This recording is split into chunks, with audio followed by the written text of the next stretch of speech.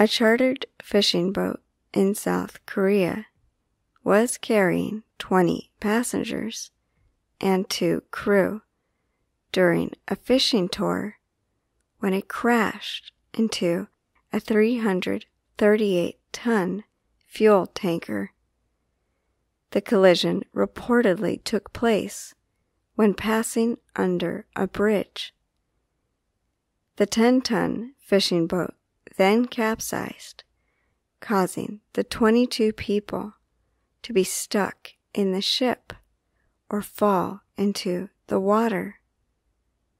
While there were no reported injuries on board the tanker, 13 people from the fishing boat were found dead, and two, including the captain, were missing.